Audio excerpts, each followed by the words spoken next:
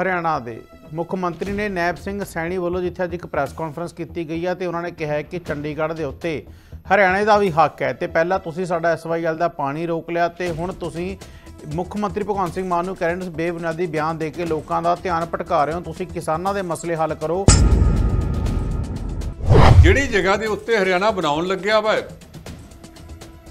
ਉਹ ਜਗ੍ਹਾ ਦੇ ਉੱਤੇ ਉਹ 12 ਏਕੜ ਤੋਂ ਚੰਡੀਗੜ੍ਹ ਵਾਲੇ ਪਾਸੇ ਨੂੰ ਜਮਾ ਨਾਲ ਹੀ ਆ, ਕੋਈ ਬਾਹਲਾ ਲੰਬਾ ਚੌੜੀ ਦੂਰ ਨਹੀਂ।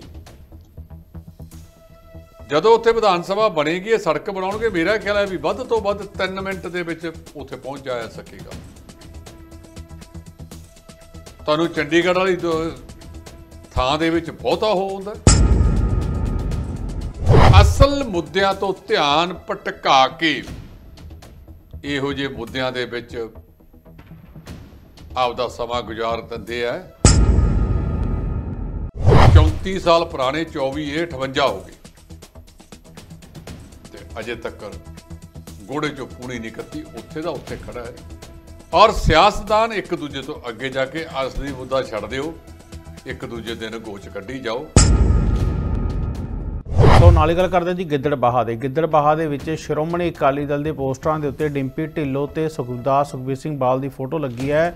ਤੇ ਉਹਨਾਂ ਵੱਲੋਂ ਡਿੰਪੀ ਢਿੱਲੋਂ ਦੇ ਇੱਕ ਉੱਤੇ ਢਿੱਲੋਂ ਸਾਹਿਬ ਇੱਕ ਤੰਜ ਕੱਸਿਆ ਗਿਆ ਜੀ। ਕਹਿੰਦੇ ਡਿੱਪੀ ਢਿੱਲੋਂ ਨੂੰ ਨਿਸ਼ਾਨਾ ਬਣਾਇਆ ਸੁਖਵੀਰ ਸਿੰਘ ਦੀ ਤੇ ਡਿੰਪੀ ਢਿੱਲੋਂ ਦੀ ਫੋਟੋ ਲੱਗੀ ਹੈ। ਉਹ ਕਹਿੰਦੇ ਕਿ ਅਕਾਲੀ ਦਲ ਨੇ ਡਿੰਪੀ ਢਿੱਲੋਂ ਪ੍ਰਤੀ ਨਾਰਾਜ਼ਗੀ, ਅਸੰਤੁਸ਼ਟੀ ਦਾ ਸੰਕੇਤ ਦਿੱਤਾ ਵੀ ਹੁਣ ਤੁਹਾਨੂੰ ਛੱਡ ਕੇ ਭੱਜਿਆ ਤੁਸੀਂ ਨਾਰਾਜ਼ਗੀ ਕਰੋ ਜੋ ਮਰਜ਼ੀ ਕਰੋ। ਤੁਹਾਡੇ ਨਾਲ ਤਾਂ ਹੈ ਨਹੀਂ ਜੇ ਏਡੇ ਤੁਹਾਡੇ। ਬਹੁਤ ਤੁਸੀਂ ਵੱਡੇ ਸੀ ਤੇ ਫਿਰ ਚੋਣ ਲੜਦੇ। ਤੁਸੀਂ ਪੰਜਾਬੀ ਵੀ ਨਾਰਾਜ਼ ਕੀਤੇ, ਵਰਕਰ ਵੀ ਨਾਰਾਜ਼ ਕੀਤੇ ਨੇ। ਇਹ ਪੋਸਟਰ ਕਿਉਂ ਜਾਰੀ ਹੋਇਆ, ਕਿਵੇਂ ਜਾਰੀ ਹੋਇਆ, ਕਿਹਨੇ ਕੀਤਾ, ਸਾਨੂੰ ਤਾਂ ਪਤਾ ਨਹੀਂ। ਇਹਦੇ ਵਿੱਚ ਕਿਸੇ ਨਾ ਕਿਸੇ ਦੀ ਜ਼ਿੰਮੇਵਾਰੀ ਜੇ ਨਹੀਂ, ਚੋਣ ਕਮਿਸ਼ਨ ਬਕਾਇਦਾ ਤੌਰ ਤੇ ਇਹਦੀ ਪੜਤਾਲ ਕਰਾਵੇ। ਇਹ ਉਲੰਘਣਾ ਕਿਹਨੇ ਕੀਤੀ ਹੈ? ਚੋਣ ਜ਼ਾਬਤੇ ਦੀ ਉਹਦੇ ਖਿਲਾਫ ਬਕਾਇਦਾ ਤੌਰ ਤੇ ਉੱਤੇ ਕਾਰਵਾਈ ਹੋਵੇ।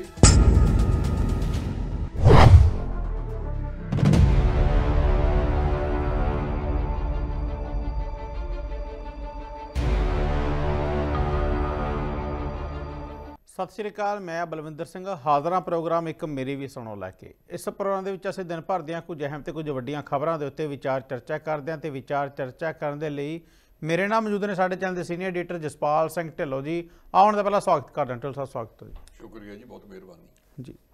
ਤੋਂ ਸਭ ਤੋਂ ਪਹਿਲਾਂ ਗੱਲ ਕਰਾਂਗੇ ਢਿੱਲੋਂ ਸਾਹਿਬ ਹਰਿਆਣਾ ਦੇ। ਮੁੱਖ ਮੰਤਰੀ ਨੇ ਨੈਬ ਸਿੰਘ ਸੈਣੀ ਵੱਲੋਂ ਜਿੱਥੇ ਅੱਜ ਇੱਕ ਪ੍ਰੈਸ ਕਾਨਫਰੰਸ ਕੀਤੀ ਗਈ ਹੈ ਤੇ ਉਹਨਾਂ ਨੇ ਕਿਹਾ ਕਿ ਚੰਡੀਗੜ੍ਹ ਦੇ ਉੱਤੇ ਹਰਿਆਣੇ ਦਾ ਵੀ ਹੱਕ ਹੈ ਤੇ ਪਹਿਲਾਂ ਤੁਸੀਂ ਸਾਡਾ ਐਸਵਾਈਐਲ ਦਾ ਪਾਣੀ ਰੋਕ ਲਿਆ ਤੇ ਹੁਣ ਤੁਸੀਂ ਮੁੱਖ ਮੰਤਰੀ ਭਗਵੰਤ ਸਿੰਘ ਮਾਨ ਨੂੰ ਕਹਿ ਰਹੇ ਕਰੰਟ ਬੇਬੁਨਿਆਦੀ ਬਿਆਨ ਦੇ ਕੇ ਲੋਕਾਂ ਦਾ ਧਿਆਨ ਭਟਕਾ ਰਹੇ ਹੋ, ਤੁਸੀਂ ਕਿਸਾਨਾਂ ਦੇ ਮਸਲੇ ਹੱਲ ਕਰੋ, ਉਹਨਾਂ ਨੂੰ ਐਮਐਸਪੀ ਦਿਓ ਤਾਂ ਜੋ ਸਾਨੂੰ ਵੀ ਖੁਸ਼ੀ ਹੋਵੇ ਜੀ।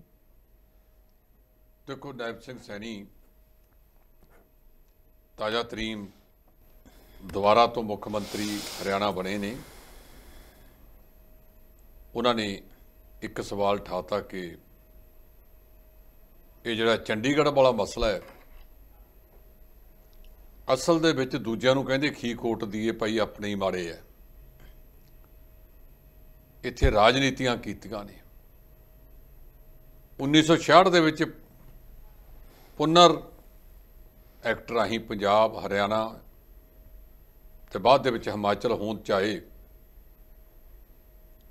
ਤੇ ਸਾਡੇ ਬੰਦਿਆਂ ਨੇ ਸਾਡੇ ਰਾਜਸੀ ਧਿਰਾਂ ਨੇ ਸਿਰਫ ਤੇ ਸਿਰਫ ਕੁਰਸੀ ਦਾ ਮੋਹ ਨਹੀਂ ਤਿਆਗਿਆ। ਪੰਜਾਬ ਠੱਠੇ ਖੂਹ ਚ ਜਾਵੇ।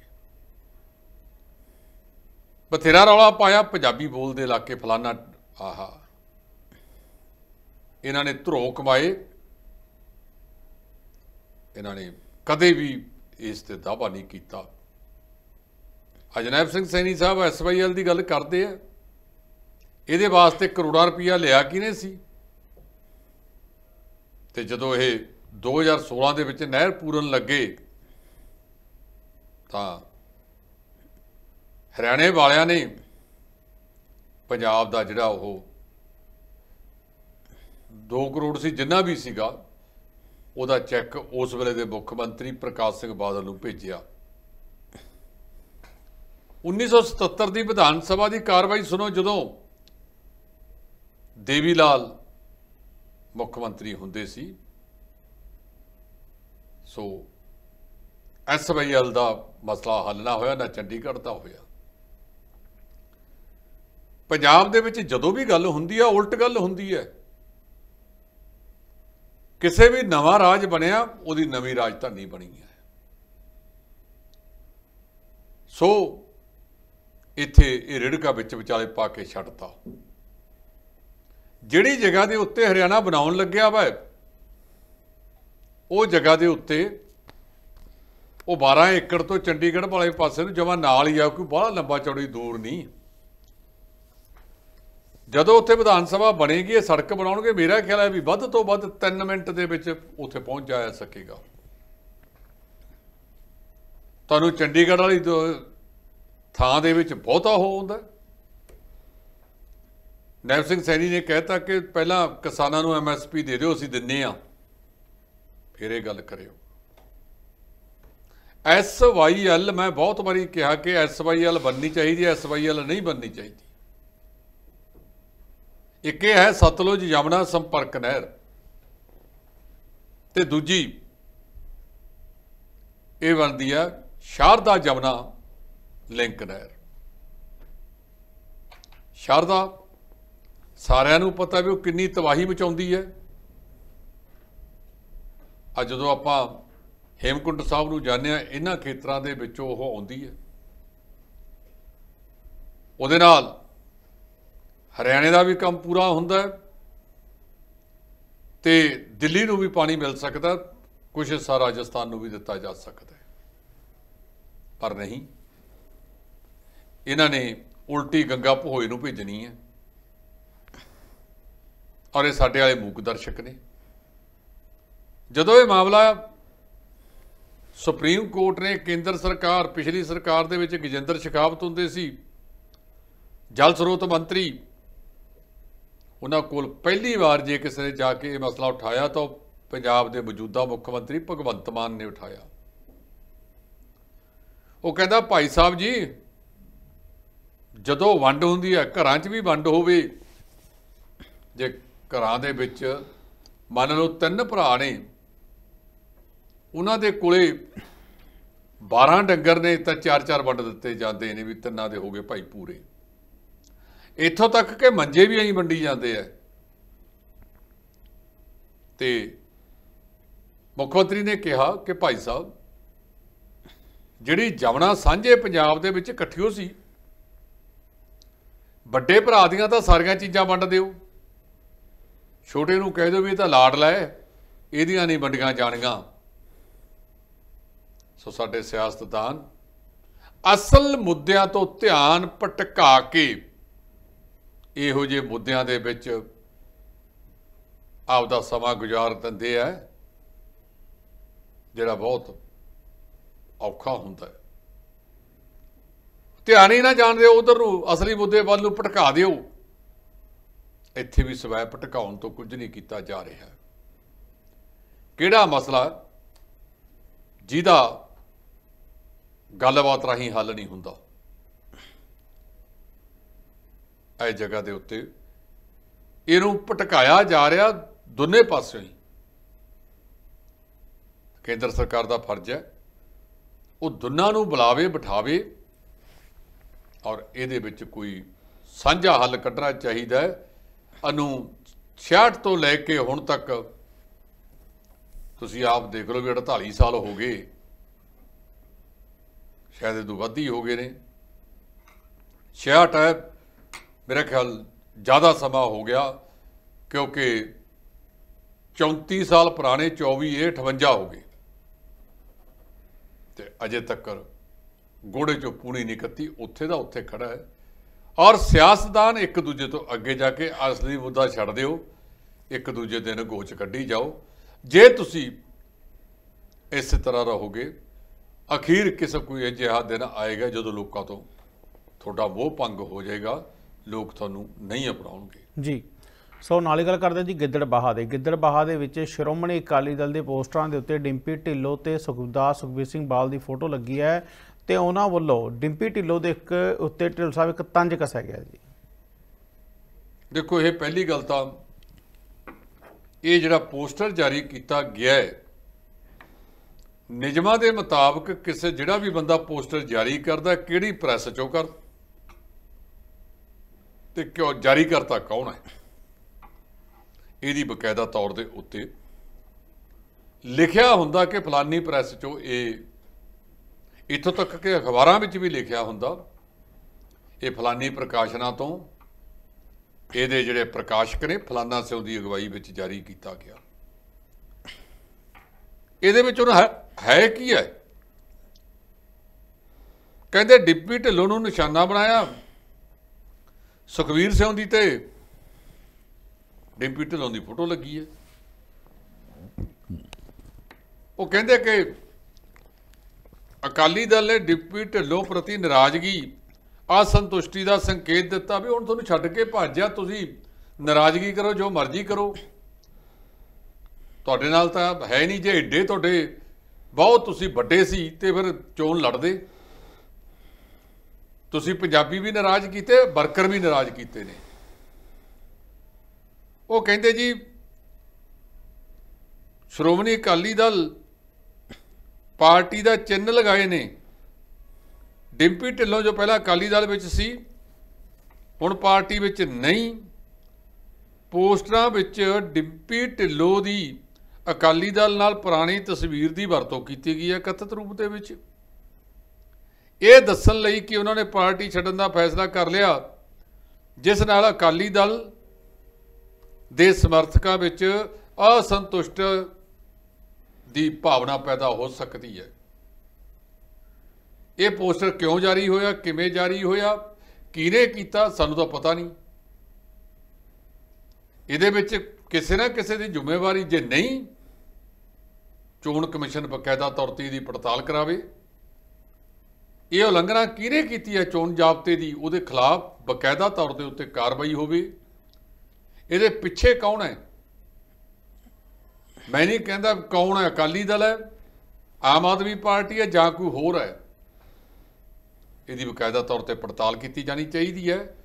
ਪੜਤਾਲ ਤੋਂ ਬਾਅਦ ਇਹਦਾ ਅਸਲੀ ਸੱਚ ਲੋਕ ਕਚਹਿਰੀ ਵਿੱਚ ਲਿਆਉਣਾ ਚਾਹੀਦਾ ਤਾਂ ਜੋ ਅਸਲੀਅਤ ਪਤਾ ਲੱਗੇ ਕਿ ਇਹ ਪਾਰਟੀਆਂ ਨੂੰ ਬਦਨਾਮ ਕਰਨ ਖਾਤਰ ਸਾਰਾ ਕੁਝ ਕੀਤਾ ਗਿਆ ਹੈ, ਜਿੰਨਾ ਇਹ ਲੋਕ ਨੈਗੇਟਿਵਤਾ ਤੇ ਉੱਤੇ ਜ਼ੋਰ ਲਾਉਂਦੇ ਨੇ, ਇੰਨਾ ਜੇ ਪੋਜ਼ਿਟਿਵ ਹੀ ਸਿਸਟਮ ਲਾਇਆ ਹੁਣ ਤਾਂ ਮੈਂ ਕਹਿ ਸਕਦਾ ਕਿ ਬਹੁਤ ਵੱਡਾ ਕੰਮ ਹੋਵੇਗਾ, ਪਰ ਇਹ ਕਰਦੇ ਨਹੀਂ।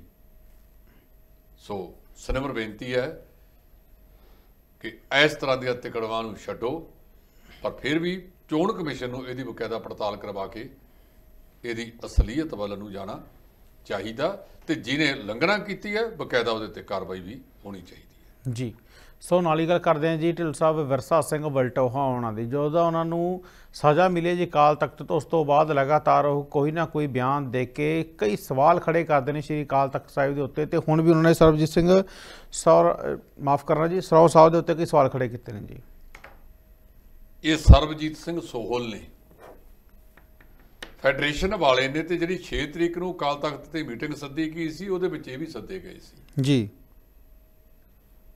ਉਹਨਾਂ ਨੇ ਮਸਲਾ ਕੀ ਠਾਇਆ? ਕਿ ਚੰਡੀਗੜ੍ਹ ਤੋਂ ਛਪਦੇ ਇੱਕ ਅਖਬਾਰ ਮਹਾਲੀ ਤੋਂ, ਉਹਦੇ ਸੰਪਾਦਕ ਨੂੰ ਇਹਨਾਂ ਨੇ ਸ਼੍ਰੀ ਕਾਲ ਤਖਤ ਸਾਹਿਬ ਤੋਂ ਜਿਹੜਾ ਹੈਗਾ, ਉਹਦੇ ਖਿਲਾਫ ਹੁਕਮਨਾਮਾ ਜਾਰੀ ਕਰਤਾ ਸੀ ਕਿ ਇਹਨਾਂ ਦੇ ਨਾਲ ਰੋਟੀ ਬੇਟੀ ਦੀ ਸਾਂਝ ਦੀ ਤੱਕ ਨਹੀਂ। ਕਰਦੇ ਤਾਂ ਇਹੀ ਕੁਛ ਹੈ ਇਹ ਜਦੋਂ ਤੇ ਫਿਰ ਜਦੋਂ ਹੱਥਾਂ ਨਾਲ ਦਿੱਤੀਆਂ ਉਹ ਦੰਦਾਂ ਨਾਲ ਖੋਲਣੀਆਂ ਲੱਗਦੀਆਂ। ਕੀ ਸਰਬਜੀਤ ਸਿੰਘ ਸੋਲ ਨੇ ਕੱਲਾ ਹੀ ਇਹ ਉਲੰਘਣਾ ਕੀਤੀ ਹੈ? ਤੁਹਾਡੇ ਕਿੰਨੇ ਆਗੂਆਂ ਦੀਆਂ ਕਿੰਨੀਆਂ ਇੰਟਰਵਿਊਜ਼ ਇਸ ਚੈਨਲ ਨੇ ਕੀਤੀਆਂ ਨੇ? ਇਹ ਚੈਨਲ ਇਸ ਅਖਬਾਰ ਦੇ ਵਿੱਚ ਖਬਰਾਂ ਲੱਗੀਆਂ ਨੇ? ਉਹਨਾਂ ਨੇ ਵੀ ਤਾਂ ਉਲੰਘਣਾ ਕੀਤੀ ਹੈ। ਆ ਜਿਹੜਾ ਤੁਹਾਡੇ ਗੱਲ 'ਚ ਸਰਸੇ ਵਾਲਾ ਪਿਆ ਇਹ ਤਾਂ ਹੀ ਪਿਆ, ਤੁਸੀਂ ਉਹਨਾਂ ਦੇ ਖਿਲਾਫ ਅਕਾਲ ਤਖਤ ਸਾਹਿਬ ਤੋਂ ਹੁਕਮਨਾਮਾ ਕਰਾਇਆ। ਜਦੋਂ ਇਹ ਹੁਕਮਨਾਮੇ ਹੋਏ, ਉਸ ਵੇਲੇ ਜਿਹੜੇ ਜਥੇਦਾਰਾਂ ਨੇ ਕੀਤੇ, ਕਿ ਉਹਨਾਂ ਨੂੰ ਇਹ ਪਤਾ ਨਹੀਂ ਸੀ ਕਿ ਇਹ ਦੇਹਧਾਰੀ ਹੈ, ਕਿਸੇ ਦੇਹਧਾਰੀ ਦਾ ਹੁਕਮ ਨਾਮਾ ਸ੍ਰੀ ਅਕਾਲ ਤਖਤ ਸਾਹਿਬ ਤੋਂ ਨਹੀਂ ਹੋ ਸਕਦਾ। ਜਿੰਨਾ ਕਿ ਮੇਰਾ ਗਿਆਨ ਜੇ ਹੋ ਸਕਦਾ ਹੈ ਮੈਨੂੰ ਇਸ ਗੱਲ ਦੇ ਵਿੱਚ ਕੋਈ ਵੀ ਬੰਦਾ ਠੀਕ ਕਰ ਸਕਦਾ ਕਿ ਤੁਹਾਡੀ ਜਾਣਕਾਰੀ 'ਚ ਚੀਜ਼ ਨਹੀਂ ਹੈ। ਮੈਨੂੰ ਖੁਸ਼ੀ ਹੋਊਗੀ। ਸੋ ਉਹ ਕਹਿੰਦੇ ਵੀ ਸਰਬਜੀਤ ਸਿੰਘ ਸੋਲ, ਪਹਿਲਾਂ ਬਲਟੋਹਾ ਸਾਹਿਬ ਇਹ ਗੱਲ ਦੱਸਣ, ਉੱਥੇ ਸਰਬਜੀਤ ਸਿੰਘ ਸੋਹਲ 6 ਤਰੀਕ ਦੀ ਮੀਟਿੰਗ ਦੇ ਵਿੱਚ ਆਪਣੇ ਆਪ ਨਹੀਂ ਗਏ। ਉਹਨਾਂ ਨੂੰ ਬਕਾਇਦਾ ਤੌਰ ਤੇ ਸੱਦਾ ਪੱਤਰ ਗਿਆ ਜੀ। ਤੇ ਫਿਰ ਇਹਨਾਂ ਨਾਲੋਂ ਪਹਿਲਾਂ ਉਹ ਦੋਸ਼ੀ ਨਹੀਂ ਜਿਨ੍ਹਾਂ ਨੇ ਸੱਦਿਆ। ਉਹ ਭਾਵੇਂ ਸ਼੍ਰੋਮਣੀ ਕਮੇਟੀ ਵੱਲੋਂ ਸੱਦਿਆ ਗਿਆ ਹੋਵੇ ਜਾਂ ਜੱਦਰ ਸਾਹਿਬ ਨੇ ਸੱਦਿਆ ਹੈਗਾ। ਕਿਸੇ ਨੇ ਵੀ ਸੱਦਿਆ ਸੱਦਾ ਪੱਤਰ ਤਾਂ ਜੱਦਰ ਸਾਹਿਬ ਨੇ ਦਿੱਤਾ ਜਿਹੜੇ ਕਿ ਸਿੱਖ ਪੰਥ ਦੇ ਵਿੱਚ ਸਭ ਤੋਂ ਸੁਪਰੀਮ ਨੇ। ਜੀ। ਸੋ ਜਿਹੜਾ ਮੁੱਦਾ ਇਹ ਉਠਾਇਆ ਉਹਦੇ ਵਿੱਚ ਬਲਟੋਆ ਸਾਹਿਬ ਕਹਿੰਦੇ ਆ ਕਿ ਉਹਨਾਂ ਨੂੰ ਪੰਥ ਚੋਂ ਛੇਕਿਆ ਹੋਇਆ ਸੀ ਤੇ ਜਥੇਦਾਰਾਂ ਨੂੰ ਸਲਾਹ ਦੇਣ ਵਾਲੇ ਜਦੋਂ ਤਖਤ ਸਾਹਿਬ ਦੇ ਉਲੰਘਣਾ ਦੀ ਕਰਨ ਤੇ ਕਹਿੰਦੇ ਇਹ ਵੱਡਾ ਠੀਕ ਹੈ, ਤੁਹਾਡੀ ਗੱਲ ਬਟੋਆ ਸਾਹਿਬ ਦੀ ਆਪਣੀ ਗੱਲ, ਪਰ ਇਹਦੇ ਵਿੱਚ ਜ਼ਿਆਦਾ ਨਿਸ਼ਾਨਾ ਉਹਨਾਂ ਦਾ ਤਖਤ ਦੇ ਜਥੇਦਾਰਾਂ ਵੱਲ ਹੈ। ਫਿਰ ਮੈਂ ਗੱਲ ਮੰਨ ਲਈ ਕਿ ਸੋਹਲ ਸਾਹਿਬ ਉੱਥੇ ਸੱਦੇ ਗਏ ਨੇ। ਤੇ ਫਿਰ ਸ਼੍ਰੋਮਣੀ ਗੁਰਦੁਆਰਾ ਪ੍ਰਬੰਧਕ ਕਮੇਟੀ ਦਾ ਪ੍ਰਧਾਨ ਕਾਦੇ ਵਾਸਤੇ ਬੈਠਾ ਸੀ? ਉਹ ਕਹਿੰਦੇ ਇਹ ਗੱਲ ਕਿ ਤੁਸੀਂ ਤਾਂ ਜੋ ਅਖਬਾਰ ਨਾਲ ਜਾਂ ਚੈਨਲ ਨਾਲ ਨੇੜਤਾ ਰੱਖਦੇ ਹੋ, ਜਿਨ੍ਹਾਂ ਨੂੰ ਅਕਾਲ ਤਖਤ ਸਾਹਿਬ ਨੇ ਛੇਕਿਆ ਹੋਇਆ ਇਹੀ ਤਾਂ ਅਸੀਂ ਗੱਲ ਕਰਦੇ ਹਾਂ। ਜੇ ਆਪਣੇ ਉਲਟ ਚੱਲ ਜੇ ਤੇ ਕਹਿ ਦਿਓ ਰੋਟੀ ਬੇਟੀ ਦੀ ਸਾਂਝ ਨਹੀਂ, ਤੇ ਮੁੜ ਕੇ ਫਿਰ ਆਪਾਂ ਹੀ ਉੱਥੇ ਜਾ ਪਹੁੰਚਦੇ ਹਾਂ। ਜੇ 2007 ਵਿੱਚ ਜਿਹੜਾ ਉਹਨੇ ਸਾਂਗ ਰਚਿਆ, ਅਸਲ ਦੇ ਵਿੱਚ ਜਦੋਂ 2007 ਦੀਆਂ ਚੋਣਾਂ ਹੋਈਆਂ, ਕਾਂਗਰਸ ਪਾਰਟੀ ਪੰਜਾਬ 'ਚ ਸਰਕਾਰ ਨਹੀਂ ਬਣਾ ਸਕੀ, ਪਰ ਮਾਲਵੇ ਦੇ ਵਿੱਚ ਕੈਪਟਨ ਅਮਰਿੰਦਰ ਸਿੰਘ ਨੇ ਸੌਦਾ ਮਾਰ ਲਿਆ ਇਹ ਸੌਦੇ ਵਾਲੇ ਨਾਲ। ਉਹਦੇ ਕਰਕੇ 69 ਚੋਂ 39 ਸੀਟਾਂ ਜਿੱਤ ਗਏ। ਅੱਜ ਵੀ ਅਕਾਲੀ ਦਲ ਦੇ ਪੈਰ ਨਹੀਂ ਲੱਗੇ ਮਾਲਵੇ ਦੇ ਵਿੱਚ। ਹਾਲਾਂਕਿ 39 ਸੀਟਾਂ ਮਾਲਵੇ ਦੀਆਂ ਜਿੱਤਣ ਤੋਂ ਬਾਅਦ ਸਰਕਾਰ ਫਿਰ ਸਰਦਾਰ ਪ੍ਰਕਾਸ਼ ਸਿੰਘ ਬਾਦਲ ਦੀ ਬਣ ਗਈ। ਸੋ ਇਹ ਮੁੱਦਾ ਵਿਕਰਮ ਸਿੰਘ ਮਜੀਠੀਆ ਹੋਰਾਂ ਨੇ ਉਠਾਇਆ ਹੈਗਾ। ਮੇਰਾ ਖਿਆਲ ਇਹ ਮੁੱਦਾ ਸੰਵਾਦ ਦਾ ਹੱਕਦਾਰ ਬਣਦਾ, ਇਹਦੇ ਤੇ ਬਕਾਇਦਾ ਸਿੱਖ ਬੁੱਧੀਜੀਵੀਆਂ ਨੂੰ ਬੈਠ ਕੇ ਵਿਚਾਰ ਕਰਨੀ ਚਾਹੀਦੀ ਹੈ ਕਿ ਇਹ ਸਾਰਾ ਕੁਝ ਕੀ ਹੈ ਬਹੁਤ ਸਾਰੇ ਤਾਂ ਜਿਹੜੇ ਮਾਮਲੇ ਨੇ, ਮਸਲੇ ਨੇ, ਇਹਨਾਂ ਨੇ ਆਪ ਹੀ ਸਹਿੜੇ ਹੋਏ ਨੇ। ਜੇ ਨਾ 78 ਦਾ ਹੁਕਮਨਾਮਾ ਕਰਦੇ ਤੇ ਟੌੜਾ ਸਾਹਿਬ ਦੇ ਗੱਲ ਪੈਂਦਾ 98 ਚ, ਤੇ ਜੇ ਇਹ ਇਹ ਹੁਕਮਨਾਮਾ ਨਾ ਕਰਦੇ, ਜਾਂ ਸੱਤ ਚ ਕੀਤਾ ਗਿਆ, ਇਹਨਾਂ ਦੀ ਵੀ ਗੱਲ ਨਾ ਪੈਂਦਾ। ਸੋ ਕਦੇ ਦਾਦੇ ਦੀਆਂ, ਕਦੇ ਪੋਤੇ ਦੀਆਂ, ਤੇ ਕਦੇ ਹੱਥਾਂ ਨਾਲ ਦਿੱਤੀਆਂ, ਦੰਦਾਂ ਨਾਲ ਵੀ ਨਹੀਂ ਖੁੱਲਦੀਆਂ ਜੀ। ਸੋ ਗੱਲ ਕਰਦੇ ਜੀ ਰਵਨੀਤ ਬਿੱਟੂ ਹੋਣ ਦੀ। ਅੱਜ ਉਹ ਗਿੱਦੜਬਾਹਾ ਦੇ ਵਿੱਚ ਪਹੁੰਚੇ ਹੋਏ ਸੀ ਤੇ ਢਿੱਲ ਸਾਹਿਬ ਜਿੱਥੇ ਪੱਤਰਕਾਰਾਂ ਦੇ ਨਾਲ ਗੱਲਬਾਤ ਕੀਤੀ, ਉਹਨਾਂ ਨੇ ਕਹਿਣਾ ਹੈ ਕਿ ਰਾਜਾ ਵੜਿੰਗ ਬਾਡੀਆਂ ਦੇ ਮਾਮਲੇ ਦੇ ਉੱਤੇ ਚੁੱਪ ਨੇ ਤੇ ਉਹਨਾਂ ਦੇ ਉੱਤੇ ਮੁੱਖ ਮੰਤਰੀ ਭਗਵੰਤ ਸਿੰਘ ਮਾਨ ਕੋਈ ਕਾਰਵਾਈ ਨਹੀਂ ਕਰ ਰਹੇ। ਹਾਲਾਂਕਿ ਮੁੱਖ ਮੰਤਰੀ ਭਗਵੰਤ ਸਿੰਘ ਮਾਨ ਵਿਧਾਨ ਸਭਾ ਦੇ ਵਿੱਚ ਵੀ ਕਹਿ ਚੁੱਕੇ ਨੇ ਵੀ ਮੈਂ ਤੁਹਾਡੀ ਫਾਈਲ ਕੱਢਾਂ ਤਾਂ ਜੇ ਜਿਨ ਤੁਸੀਂ ਆ ਕੇ ਮੇਰੇ ਪੈਰੀ ਪੈ ਜਾਓਗੇ। ਪਰ ਉਹਨਾਂ ਨੇ ਕਿਹਾ ਕਿ ਗਿੱਦੜਬਾਹਾ ਦੇ ਵਿੱਚ ਤੁਸੀਂ ਇੱਕ ਸਟੇਜ ਤੇ ਜੋ ਇਕੱਠੇ ਹੋਵੋਗੇ ਜੀ, ਡਿੰਪੀ ਢਿੱਲੋਂ ਤੇ ਆਮ ਆਦਮੀ ਪਾਰਟੀ ਦੇ ਕਨਵੀਨਰ ਨੇ ਜੀ, ਅਰਵਿੰਦ ਕੇਜਰੀਵਾਲ ਦੇ ਸਾਹਮਣੇ ਕਹਿ ਕੇ ਜਾਓ ਵੀ ਮੈਂ ਕਾਰਵਾਈ ਕਹੂੰਗਾ ਬਿਲਡਿੰਗ ਦੇ ਉੱਤੇ, ਕਰਨੀ ਵੀ ਚਾਹੀਦੀ ਨਹੀਂ ਕਹੇ ਤੁਸੀਂ ਐਂ ਕਹਿ ਦਿਓ ਵੀ ਅਸੀਂ ਕਾਰਵਾਈ ਨਹੀਂ ਕਰ ਸਕਦੇ। ਕੇਸ ਈਡੀ ਸੀਬੀਆਈ ਨੂੰ ਦਿਓ, ਅਸੀਂ ਦੁੱਧ ਦਾ ਦੁੱਧ ਤੇ ਪਾਣੀ ਦਾ ਪਾਣੀ ਕਰ ਦਾਂਗੇ ਜੀ। ਪਹਿਲਾਂ ਜਿਹੜੀਆਂ ਗੱਲਾਂ, ਹੁਣ ਤਾਂ ਵਾਹਵਾ ਚਿਰ ਹੋ ਗਿਆ, ਬਿੱਟੂ ਸਾਹਿਬ ਨੂੰ ਵੀ ਕੇਂਦਰ ਦੇ ਵਿੱਚ ਵਜ਼ੀਰ ਬਣਿਆ। ਇਹ ਕਰਦੇ ਨਹੀਂ ਸੀਬੀਆਈ ਦੂਜੀਆਂ ਏਜੰਸੀਆਂ ਤੁਹਾਡੇ ਕੋਲ ਆ, ਤੁਸੀਂ ਕਰਾ ਲਓ। ਤੁਹਾਨੂੰ ਗੱਲਾਂ ਮਾਰਨ ਦੀ ਥਾਂ ਤੇ ਕੁਝ ਕਰਕੇ ਦਿਖਾਉਣਾ ਚਾਹੀਦਾ ਹੈ। ਜਦੋਂ ਡਿੰਪੀ ਢਿੱਲੋਂ ਨੂੰ ਲੈ ਕੇ ਆਏ ਸੀਗੇ, ਸਰਦਾਰ ਭਗਵੰਤ ਸਿੰਘ ਮਾਨ, ਉਹ ਤਾਂ ਉਦੋਂ ਤੋਂ ਹੀ ਚੱਲਦਾ ਹੈ। ਉਹ ਕਹਿੰਦੇ, ਮਾਨ ਸਾਹਿਬ ਨੇ ਕਿਹਾ, ਜੇ ਮਾਨ ਸਾਹਿਬ ਨੇ ਕਿਹਾ ਕਿ ਫਾਈਲਾਂ ਮੇਰੇ ਕੋਲ ਪਈਆਂ ਨੇ, ਇਹ ਤਾਂ ਚੱਬੇਵਾਲ ਸਾਹਿਬ ਵਾਸਤੇ ਵੀ ਬਹੁਤ ਸਵਾਲ ਉੱਠਦੇ ਆ। ਸੋ ਮੈਂ ਬੇਨਤੀ ਕਰਾਂ, ਠੀਕ ਹੈ, ਇਹਨਾਂ ਨੇ ਮੁੱਖ ਮੰਤਰੀ ਨੂੰ ਜੇ ਉਹਨਾਂ ਨੇ ਜਿਹੜੀ ਗੱਲ ਕਹੀ ਸੀ, ਉਹਦੇ ਉੱਤੇ ਬਕਾਇਦਾ ਪੜਤਾਲ ਕਰਾਉਣੀ ਚਾਹੀਦੀ ਹੈ। ਨਹੀਂ ਕਿਤੇ ਇਹ ਤਾਂ ਨਹੀਂ, ਬਿੱਟੂ ਸਾਹਿਬ ਨੂੰ ਇਹ ਗੱਲ ਚੁੱਭ ਗਈ ਹੋਵੇ ਕਿ ਤਾਂ ਇੰਡੀਆ ਦਾ ਦੁੰਮੇ ਭਾਈਵਾਲ ਨੇ। ਅੱਜ ਕੇਜਰੀਵਾਲ ਸਾਹਿਬ ਮਹਾਰਾਸ਼ਟਰ ਦੇ ਵਿੱਚ ਵੀ ਗਏ ਵੇ ਹੈ ਇੰਡੀਆ ਦੀ ਚੋਣ ਰੈਲੀਆਂ ਦੇ ਵਿੱਚ। ਸੋ ਮੇਰੀ ਸਨੇਮਰ ਬੇਨਤੀ ਹੈ ਕਿ ਭਾਰਤ ਦੇ ਰਾਜਨੀਤਿਕ ਲੋਕੋ, ਭਾਰਤ ਨੂੰ ਖੱਬੇ ਸੱਜੇ ਵਾਲਾ ਕੰਮ ਨਾ ਕਰੋ, ਕੋਈ ਚੱਜ ਦਾ ਕੰਮ ਕਰੋ, ਜਿਹਦੇ ਨਾਲ ਸਾਡੀ ਕੋਈ ਤਰੱਕੀ ਹੋਵੇ। ਚਾਰ ਜਵਾਕਾਂ ਨੂੰ ਰੁਜ਼ਗਾਰ ਮਿਲੇ, ਉਹ ਕੰਮ ਤੇ ਲੱਗਣ, ਉਹ ਪੁੱਠੇ ਕੰਮਾਂ 'ਚ ਨਾ ਜਾਣ। ਇਹਦੇ ਲਈ ਤੁਸੀਂ ਸਾਰੇ ਪੰਜਾਬ ਦੇ ਸਿਆਸਤਦਾਨ, ਇੱਕ ਦੂਜੇ ਦੇ ਉੱਤੇ ਛੰਡੋ ਮਤ, ਕੁਝ ਕਰਕੇ ਦਿਖਾਓ। ਜ਼ਿੰਮੇਵਾਰ ਤੁਸੀਂ ਸਾਰੇ ਹੀ ਜੀ। ਸੋਟਲ ਸਾਹਿਬ ਪੰਜਾਬ ਦੇ ਇੱਥੇ ਚਾਰ ਸੀਟਾਂ ਦੇ ਉੱਤੇ ਚੋਣਾਂ ਹੋਣ ਜਾ ਰਹੀਆਂ ਨੇ। ਹਾਲਾਂਕਿ ਚੋਣ ਕਮਿਸ਼ਨ ਵੱਲੋਂ ਕਈ ਲੀਡਰਾਂ ਦੇ ਉੱਤੇ ਐਕਸ਼ਨ ਵੀ ਲਿਆ ਗਿਆ ਤੇ ਉਸ ਤੋਂ ਬਾਅਦ ਹੁਣ ਜਿਹੜੀ 20 ਤਰੀਕ ਨੂੰ VOTING ਹੋਵੇਗੀ, ਉਹਨਾਂ ਬੂਥਾਂ ਦੇ ਉੱਤੇ ਕੈਮਰੇ ਲੱਗਣਗੇ ਤੇ ਉਹ ਨਿਗਰਾਨ ਦੇ ਵਿੱਚ ਹੋਏਗੀ ਜੀ। ਚਲੋ ਇਹ ਤਾਂ ਚੋਣ ਕਮਿਸ਼ਨ ਦੇ ਪਹਿਲਾਂ ਵੀ ਫੈਸਲੇ ਹੁੰਦੇ ਆ। ਚੋਣ ਕਮਿਸ਼ਨ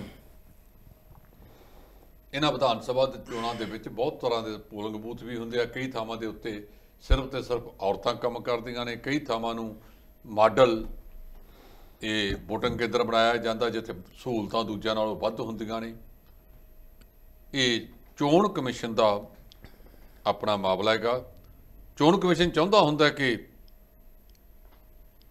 ਇਹ ਜਿਹੜੇ ਚੋਣਾਂ ਨੇ, ਇਹ ਨਿਰਪੱਖਤਾ ਨਾਲ ਹੋਣ, ਪਰ ਕਈ ਵਾਰੀ ਹਾਕਮ ਧਿਰ ਦਾ ਬੋਲਬਾਲਾ ਜ਼ਿਆਦਾ ਹੋ ਜਾਂਦਾ ਹੈ।